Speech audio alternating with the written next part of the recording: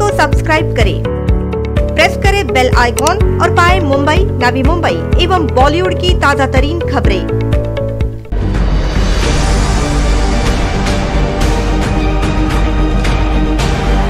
संक्रमणाची साखळी तोडायची असेल त्यामुळे ही साखळी तोडण्यासाठी आपण नवी मुंबई महापालिका क्षेत्रामध्ये लॉकडाऊन जाहीर केलेला आहे.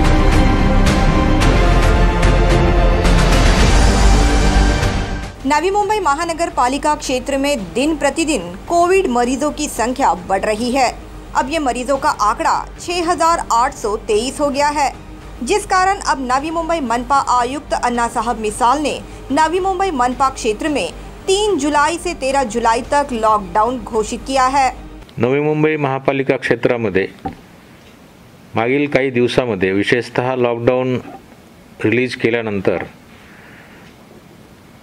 शहरामध्ये पॉझिटिव्ह रुग्णांची संख्या वाढत आहे. त्या संदर्भात महापालिकातर्फे सर्व उपाययोजना करण्यात येत आहेत. तथापि या स संक्रमणाची साखळी तोडायची असेल तर आणखी याच्यामध्ये आपल्याला काही प्रभावी स्टेप्स त्या ठिकाणी घेणं आवश्यक आहे. त्यामुळे ही साखळी तोडण्यासाठी आपण नवी मुंबई महापालिका क्षेत्रामध्ये तीन जुलै दोन हज़ार वीसच्या मध्यरात्रीपासून म्हणजेच चार तारखेला पहाटेपासून ते तेरा जुलै दोन हज़ार वीस मध्यरात्रीपर्यंत या कालावधी दरम्यान लॉकडाऊन जाहीर केलेला आहे. बता दें कि इस लॉकडाउन में एपीएमसी मार्केट ठाणे बेलापुर औद्योगिक क्षेत्र का समावेश नहीं किया जाएगा। सभी हॉटस्पॉट क्षेत्रों में लॉकडाउन का सख्ती से पालन किया जाएगा। तथापि आपल्याला कल्पना असेल की शहरामध्ये बऱ्याच इंडस्ट्रियल एरिया आहे. त्याचबरोबर ए पी एम सी आहे की जे जीवनावश्यक वस्तूंचा पुरवठा या भागामध्ये मुंबईसह सर्व बरीच शहरात करत असते. त्यामुळे शहराची अर्थव्यवस्था ही सु- सुरक्षित राहील या दृष्टिकोनातून किंवा चालू राहील या दृष्टिकोनातून एम आय डी सीमधील सर्व इंडस्ट्रीयल एरिया किंवा इंडस्ट्रीयल युनिट्स त्याचबरोबर ए पी एम सी आणि शहरामधील सर्व अत्यावश्यक सेवा हे वगळून, या तीन बाबी वगळून आपण हा लॉकडाऊन केलेला आहे. एम आय डी सीमधील जी झोपडपट्टी किंवा गावठाणं, जी वस्तीची ठिकाणं आहेत, त्या ठिकाणी लॉकडाऊन लागू राहणार आहे. इस लॉकडाउन के दरमियान जो नियम होंगे, वो इस प्रकार है. बसेस एवं ट्रेन सुविधा केवल अत्यावश्यक सेवा देने वाले व्यक्तियों के लिए शुरू रहेगी. सार्वजनिक परिवहन सेवा, टैक्सी एवं ऑटो रिक्शा को अनुमति नहीं होगी.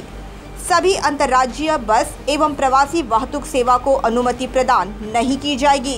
केवल बाहर से आकर बाहर जाने वाले टूरिस्ट वाहनों को अनुमति प्रदान की गई है। सभी नवी मुंबई कर अपने घरों में ही रहेंगे एवं केवल ज़्यादा ज़रूरी काम हो तो ही घरों से बाहर निकलेंगे। सरकारी कार्यालय कम से कम कर्मचारियों की उपस्थिति में शुरू रखने की अनुमति होगी।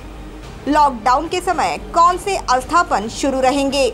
जीवन आवश्यक वस्तु जैसे दूध बेकरी किराना दुकान सब्ज़ी की दुकान सुबह नौ बजे से शाम पाँच बजे तक खुले रहेंगे।